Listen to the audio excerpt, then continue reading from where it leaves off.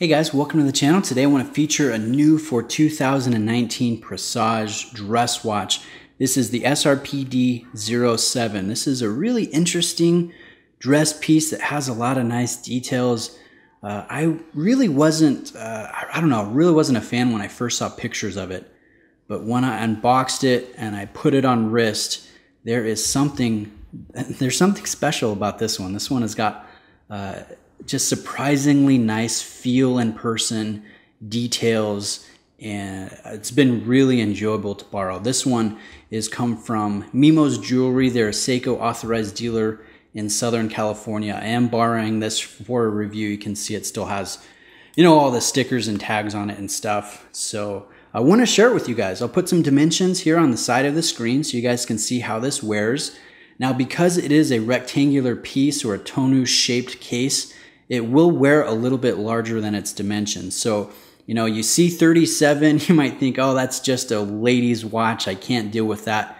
Uh, not so. It, it, definitely has a good feel on wrist. Now, my wrists are 7.25 inches in circumference, and I find it not too big, not too small, and the height is, is pretty decent as well, coming in at 12 millimeters in height. Now, this wrist shot, I'm showing it to you on my Staib mesh, which I don't know, I thought the, uh, the, the polished, parts of the Staib kind of tied in real well with that textured dial, but the watch does come on this calf leather strap from Seiko, which you can see a signed metallic uh, deployant buckle here, which is nice to see from them. If we look at the back of the watch, you can see a uh, bolt-in case back with a Hardlex display back showing the gold tone rotor on the in-house 4R35 movement. I think that looks really nice.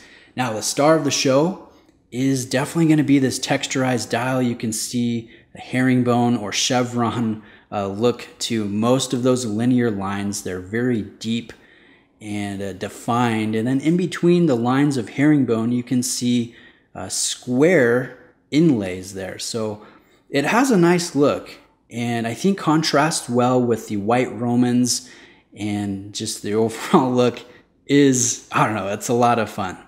One detail that I really like are the small dot metal appliques on every hour. You can see they catch light really well. And if I could improve anything about this watch just subjectively, I think it would be really cool if Seiko took a leaf out of Patek Philippe's book and put those metal appliques on every single index. You can see white dots that are printed uh, representing every minute. But imagine how cool this would be if all of those were applied metal. That would be that would be really cool. So we have a date at the six o'clock position. It's kind of cutting into that six Roman numeral. You've got a white printed frame and the date is blacked out to match the dial. So the overall look, I think, is very classy, very sharp. There is a sapphire crystal here that is dual curved. I don't believe there's any anti-reflective treatment um, I mean, when I get it in the right light, it almost looks like there is on the underside, but uh, I couldn't find any definitive information online. Uh, you can get some distortions and some pretty strong reflections on this. I think just adding to the uh, the visual light play and pop in person, you can see a Seiko signed crown here. Uh, it is not screw down; it is a push pull crown, and uh, unlike other Presage watches, this one offers 50 meters of water resistance as opposed to 100, which is kind of the norm with Seiko dress watches. But overall, I mean, this is a really fun piece. This was surprisingly sharp and enjoyable in person. I like the applied Seiko badge. I like the finishing here, the brushed and the polished, the steps to the bezel, uh, that, that curved sapphire crystal with the texturized dial. This has definitely been a fun one. So big thank you to Mimo at Mimo's Jewelry for just lending this in and letting me ch- spend a little bit of time. Check it out, share it with you guys if anyone is interested. There is a link in the description to the website.